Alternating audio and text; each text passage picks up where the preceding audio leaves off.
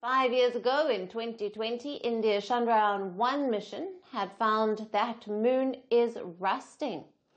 Now scientists have determined whose fault it is. And surprisingly, the fault is all Earth's. Now let's break down what that really means. New research shows that particles from our Earth's atmosphere are traveling all the way to the moon and reacting with its minerals. The result is the formation of hematite, which is essentially lunar rust. Now, hematite or moon rust forms when oxygen reacts with iron-rich minerals. But the moon barely has any oxygen. So how is rust forming on our Earth's only natural satellite? The answer lies in what researchers call earth wind. About five days each month, as Earth blocks the sun, the moon is mainly exposed to this earth wind. And during this period, molecules of oxygen escape our atmosphere and drift toward the moon. The oxygen from the Earth then reacts with iron on the moon's surface, creating hematite. To test this phenomenon, scientists recreated earth wind in the lab. They fired high energy oxygen and hydrogen at iron rich minerals similar to those found on the moon. Now, oxygen ions transformed the minerals into hematite, and the experiment confirmed that earth wind is capable of rusting the moon. Since 2020, when India's Chandrayaan-1 mission reported the presence of lunar rust or hematite, scientists were puzzled on where exactly it came from.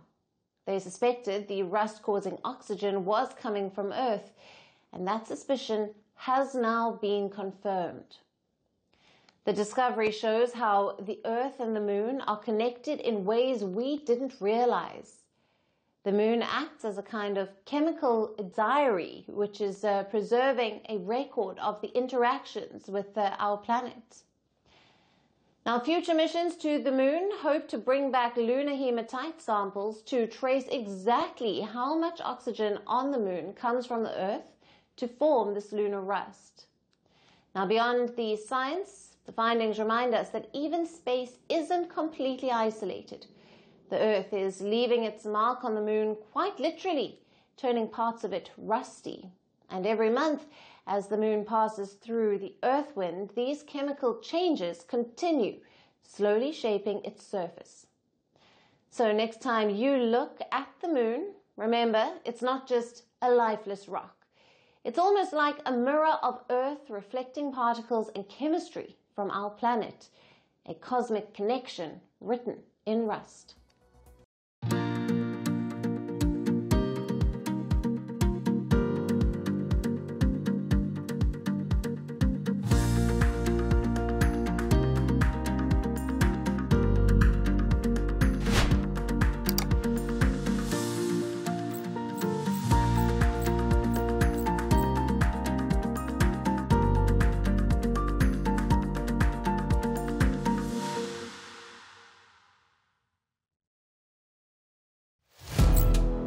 Firstpost now available in nine languages on YouTube.